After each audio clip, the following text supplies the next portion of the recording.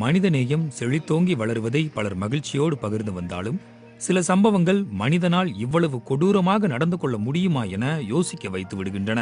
அப்படி ஒரு சம்பவம்தான் நேற்று கேரளாவில் வெளிச்சத்திற்கு வந்துள்ளது. கர்ப்பம் தரித்திருந்த யானை ஒன்றுக்கு அடையாளம் தெரியாத நபர்கள் சிலர் வெடிமருந்து கலந்த அன்னாச்சி பழத்தை கொடுத்துள்ளனர். அதனை சாப்பிடும்போது அன்னாசி பழத்தில் இருந்த வெடிமருந்து வெடித்து அந்த யானை பலத்த காயமடைந்து பின்னர் உயிரிழந்துள்ளது. உயிரிழந்த அந்த யானைக்கு சுமார் பதினான்கு முதல் பதினைந்து வயது இருக்கும் என கேரள வனத்துறை அதிகாரிகள் கூறுகின்றனர். மிகுந்த வழியில் இருந்த அந்த யானை அது உயிருடன் இருந்த கடைசி மூன்று நாட்களில் வெள்ளையாறு நதியை விட்டு வெளியே வரவில்லை என்றும் பிறகு மருத்துவ உதவிக்கு ஏற்பாடு செய்யப்பட்டது என்றும் வனத்துறை அதிகாரிகள் தெரிவித்துள்ளனர். வழி தாங்க முடியாததால் அந்த யானை தனது வாய் மற்றும் தும்பிக்கை பகுதியை மூன்று நாட்களாக நீருக்குள்ளேயே வைத்துக் கொண்டு இருந்துள்ளது.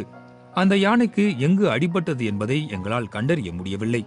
வழி தெரியாமல் இருக்க அந்த யானை நிறைய தண்ணீர் குடித்திருக்கும் என்று நினைக்கிறேன். வாயின் இரு பக்கங்களிலும் பல காயங்கள் இருந்தன. பற்கள் இருக்கவில்லை என்கிறார். இது குறித்து பிபிசி இந்தி சேவையிடம் பேசிய சைலண்ட் வேலி தேசிய பூங்காவின் வனக்காப்பாளர் சாமுவேல். இந்த யானை தொடர்பாக வனத்துறை அதிகாரி மோகன் கிருஷ்ணன் பேஸ்புக்கில் பதிவிட்ட பிறகுதான் இந்த சம்பவம் வெளிச்சத்திற்கு வந்தது. வழியோடு அந்த யானை அருகில் உள்ள கிராமத்தின் வீதிகளில் உதவிக்காக சுற்றித் திரிந்தபோது கூட ஒரு மனிதரையும் அது தாக்கவில்லை என்று உணர்ச்சி பூர்வமாக அவர் எழுதியிருந்தார். அந்த கர்ப்பிணி யானையின் புகைப்படங்களையும் அவர் பகிர்ந்திருந்தார். வழியுடன் தண்ணீரில் நின்று கொண்டிருந்த யானையை மீட்க விரைவு குழுவோடு இரண்டு கும்கி யானைகளையும் பயன்படுத்தினோம். அங்கிருந்து யானையை வெளியே கொண்டு வந்தால் அறுவை சிகிச்சை மேற்கொண்டு காப்பாற்றி விடலாம் என்று நினைத்தோம். ஆனால் அந்த யானை அதற்கு ஒத்துழைக்கவில்லை.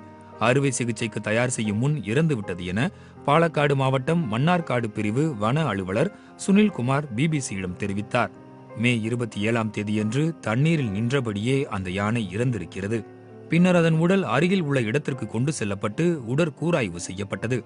அப்போதுதான் அந்த யானை கர்ப்பமாக இருந்தது அதிகாரிகளுக்கு தெரிய வந்தது. பின்னர் அந்த யானை அடக்கம் செய்யப்பட்டு அதற்கு இறுதி மரியாதையும் செய்யப்பட்டுள்ளது.